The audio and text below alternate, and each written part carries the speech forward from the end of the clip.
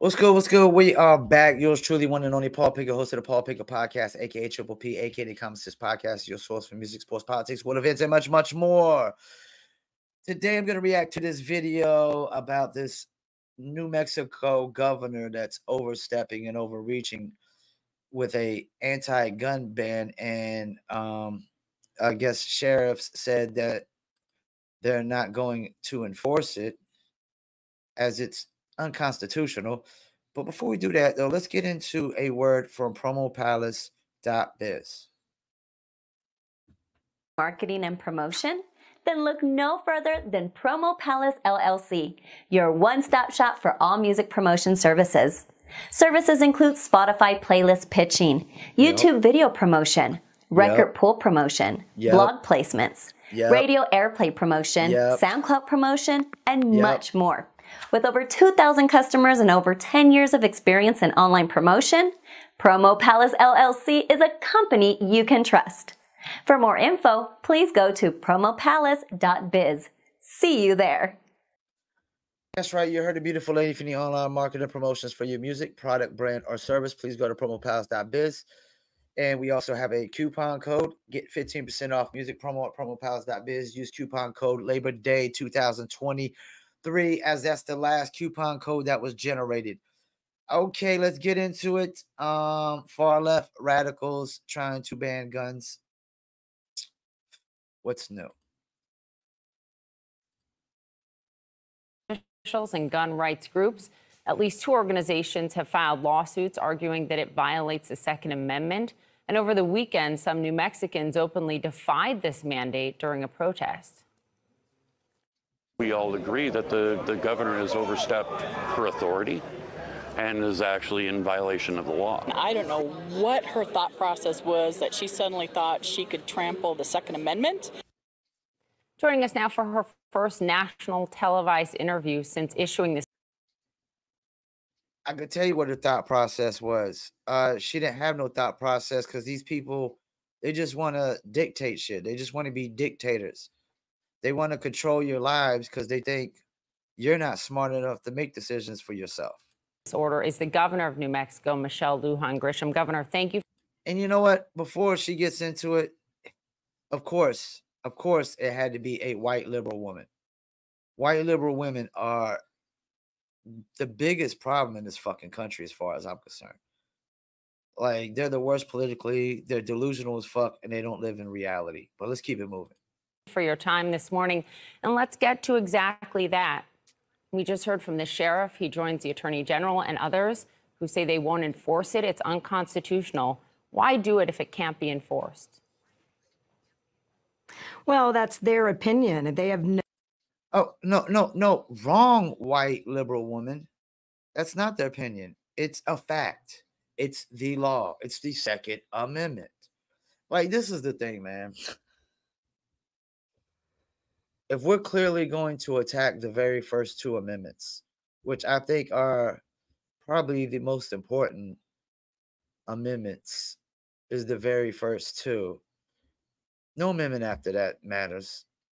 They hold no weight. If we're going to eradicate the very first two amendments, every amendment after that, it holds no weight. They should all just be wiped off the face of the earth. And if we're going to get rid of the very first two, no bold actions. They don't have any plans for reducing gun violence. Every single aspect. Wait, wait. Oh, oh. So her plan is she's talking about plans. So let, let, let's talk about what her plan leads to. Her plan leads to okay, taking away all the legal guns. What about the criminals that have their guns still? What about their guns? Uh, so if you take away, if you don't allow anybody to have legal guns anymore, and all the criminals still got their guns, what does that make everybody that doesn't have legal guns no more to protect themselves? Uh, what's that V word that what's that V word that um liberals use and Democrats use very well? Uh, what's that V that V word? Victims, victims it makes everybody a fucking victim. That's the thing. Their solution, the Democratic solution is everybody's a fucking victim of gun violence, getting robbed by criminals, pistol whipped by criminals, killed by criminals, having criminals run up in your house, your business, or whatever. Because their solution is the dumbest. In terms of preventing gun violence, No, no, you're. I I swear I want to rip my hair hair out my head right now, man. I just want to take this hat off and just throw it across the room.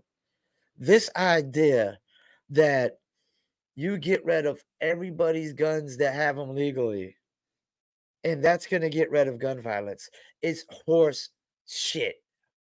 It's horse shit. It's horse shit. It, it I mean, we're we're uh, we're walking funds, deep in it. uh, uh, crime labs, a more than 150 million for retention bonuses and recruitment of new police officers. I'm focused on one thing. Uh, we have the third highest gun-related injuries uh, in the country. 90 percent. All right, guys. Yeah, that one thing she's focused on is dictatorship, not giving you freedom of choice. Like that's the thing. They literally got to take away the First Amendment so they could take away your second. That's what people don't realize. They have to take away your First Amendment so they could take away your second. That's how it works. Guys, so we got to do a follow up on the story out of New Mexico that is getting national attention because it reveals exactly what the Democrats want to do that they're pretending that they don't want to do, but this is what they want to do when it comes to this issue of the Second Amendment. And And before he finishes, I hate to keep cutting it off. They keep attacking the First and Second Amendment.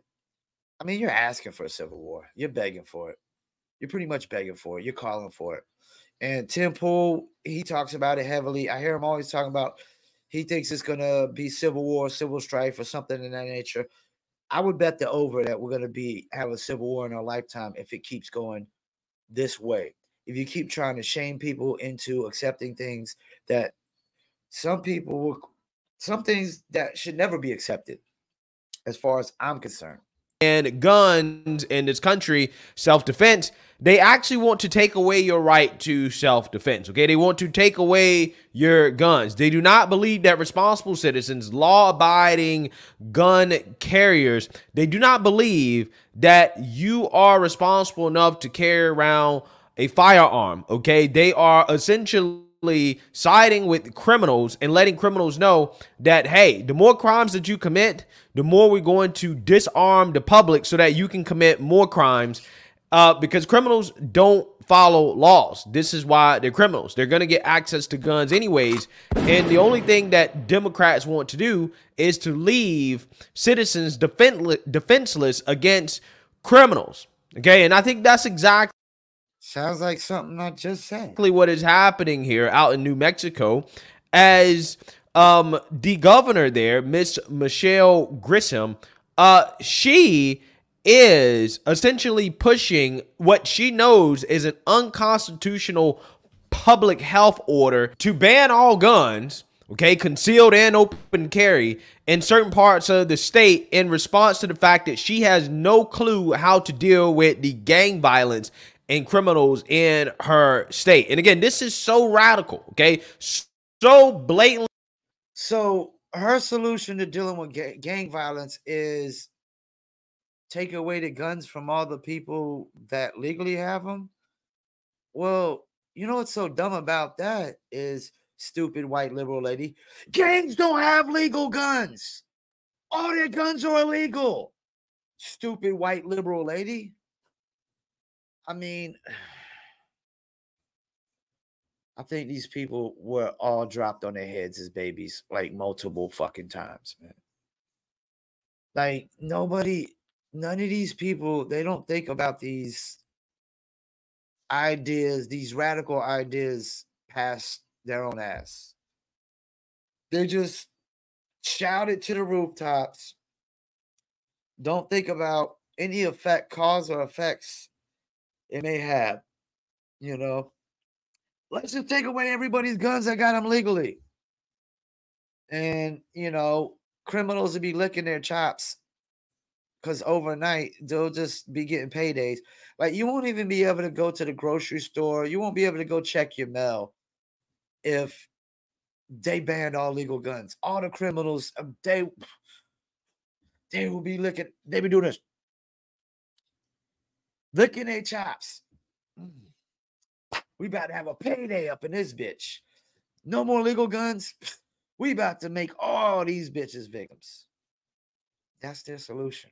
Unconstitutional that you even have uh people like David Hogg, whose whole career is basically advocating to ban guns, coming out and saying, "Hey, you're going a little bit too far. Okay, you're getting too radical, too openly radical in regards to our long-term agenda." He says, "Quote: I support gun safety, but there is no such thing as a state public health emergency exception to the U.S. Constitution. Yeah, he actually really wants to repeal the Second Amendment. He doesn't want to overtly just not follow the Constitution. But again, don't get it twisted here, right? In regards to where these people actually stand, okay? David Hogg, if he could have it his way, he would take away all our guns, except maybe, I don't know, grandpa's double barrel shotgun that he uses for self defense at his farm, right? I mean, I'm just saying that's the ideal world that liberals would, would live in. You also see, but this is the problem with that. People really fail to realize the true purpose of the Second Amendment. It's not so, it, yes, it, it has to do with defending you know, being able to defend your your house, your home, your family, your life. But more importantly, it's to defend yourself against governors like this new Mexico white liberal dictator governor, this tyrant, tyrant. It's to defend ourselves against tyrants and tyrannical, you know, rule of law. Or the, well, you take away the laws, I mean, I guess there ain't no laws. You know, they like their idea is we would have to bring a knife to a gunfight every single time. Like that saying, you brought a knife to a gunfight, that would be the norm. You would have no fucking choice. You'd have no choice.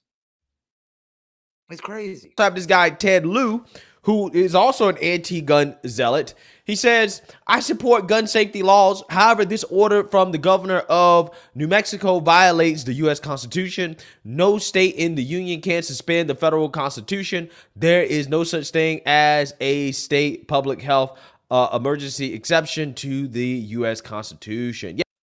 You know what? And Foreman, Greg Foreman's right on this. It's not like they're saying this because they totally, you know, believe what they're saying.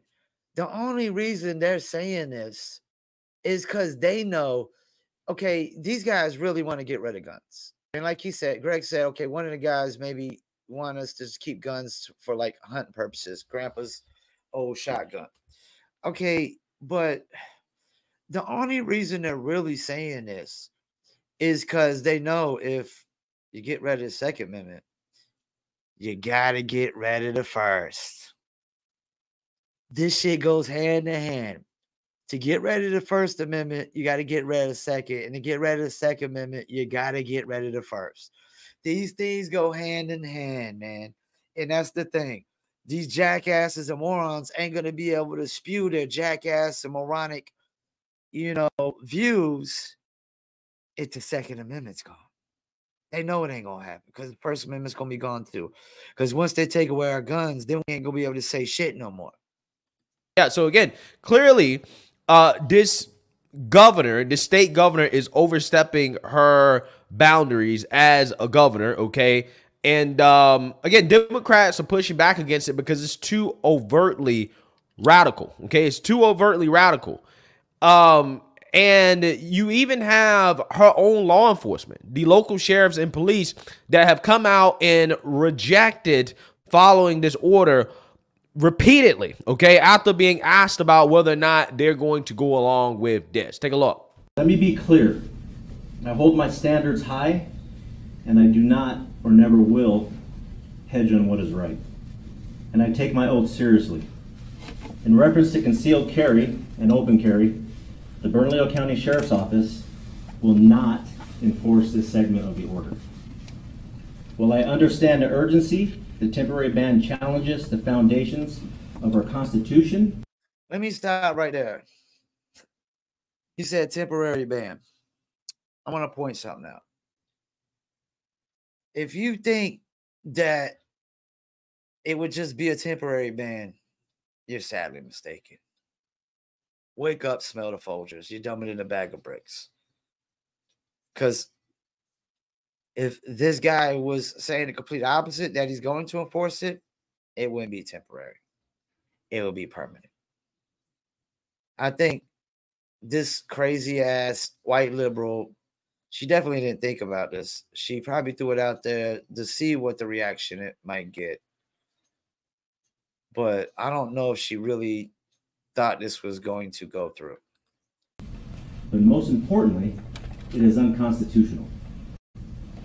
My oath Ding, is to protect ding, the ding. Constitution, and that is what I will do.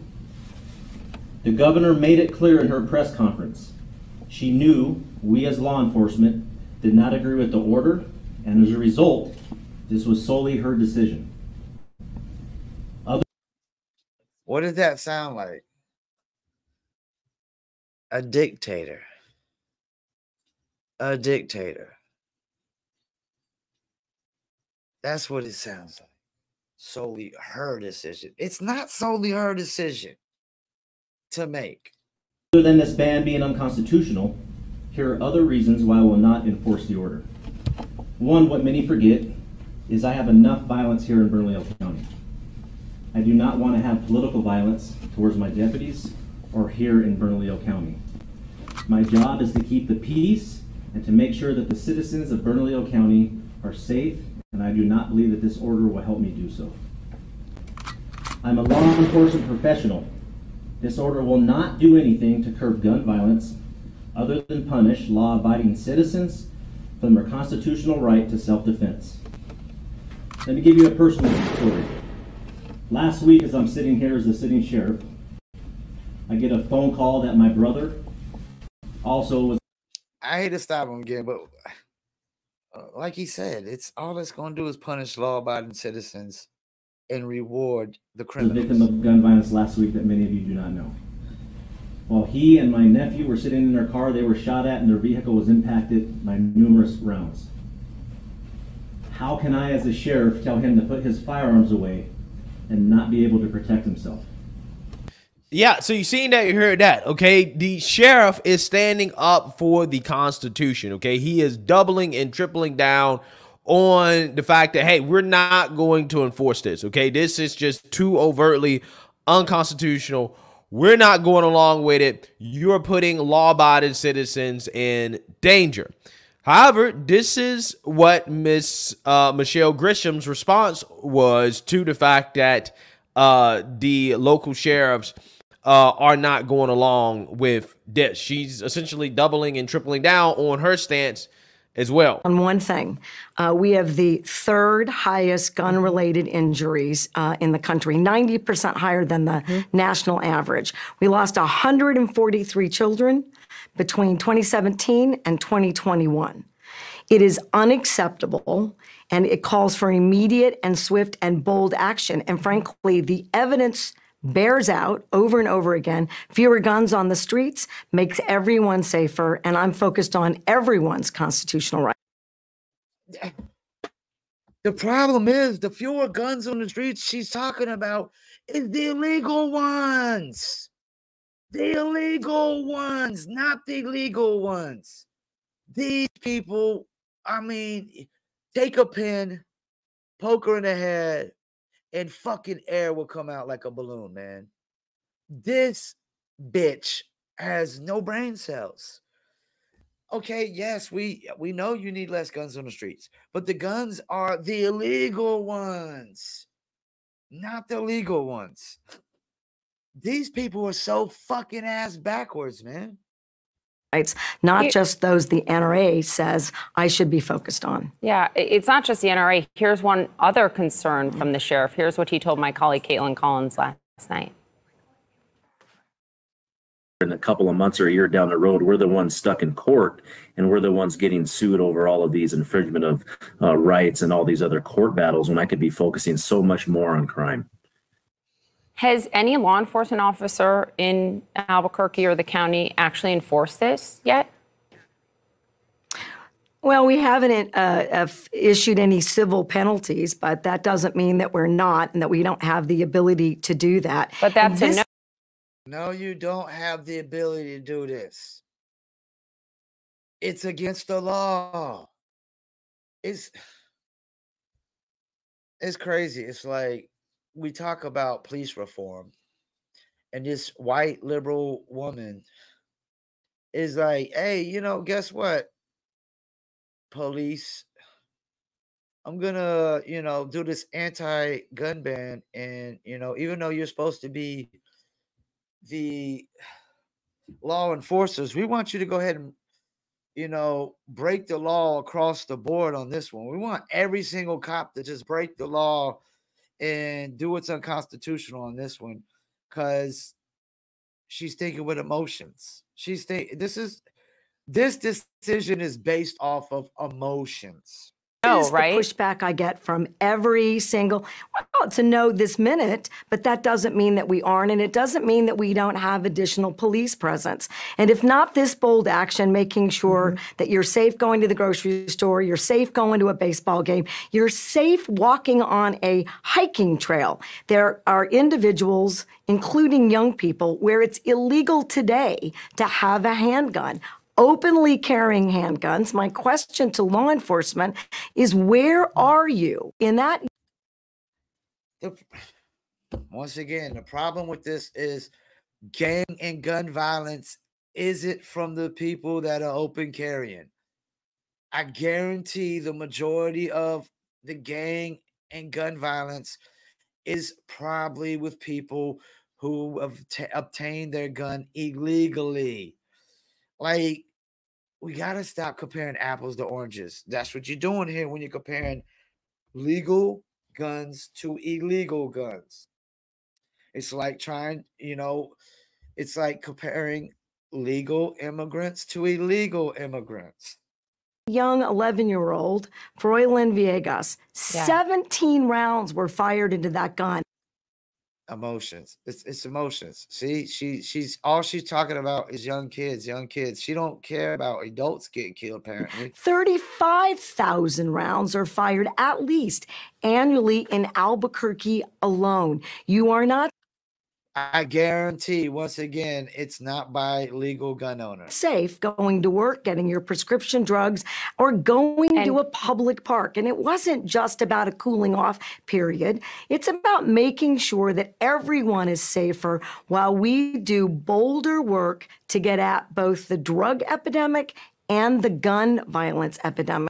Okay, yeah, bolder work would be actually lock up fucking criminals and gangsters and and whatnot. But see, that's the thing. Democrats don't want to lock up criminals. They want to reward them. They want to enable them. Um, yeah, I've really heard enough on this matter. It's women like this that is the biggest problem with the with politics in the country today. It, it really is yes, yes, you need to have bolder actions, but you don't need to go after the legal law abiding citizens and make them victims. I, I really don't. I really don't get, you know, what's the ultimate goal of these people when they say, let's get rid of all the legal guns and just leave the criminals with guns. I don't really get the goal of that. And as a person who is into Edward Bernays, the king of PR, and just knowing how he was a person they used to help control the world and control people, I don't really see how this fits in their scheme. I don't see how this this crazy radical civil unrest fits in their scheme. I really don't. Um so once again, I'll thank y'all for tuning in. Um, Paul Pickett Podcast. Don't forget the video version goes to YouTube, Facebook, Instagram, Rumble, BitChute. Twitter, LinkedIn, audio version goes to Spotify, Apple, Amazon, Deezer, TuneIn, Stitcher, Slacker, iHeartRadio, Player FM, and much more. And we got a new outro, so we're going to play a new outro for the day, see how it looks, see how it goes. Once again, thank you for tuning in. Peace, and I'm out.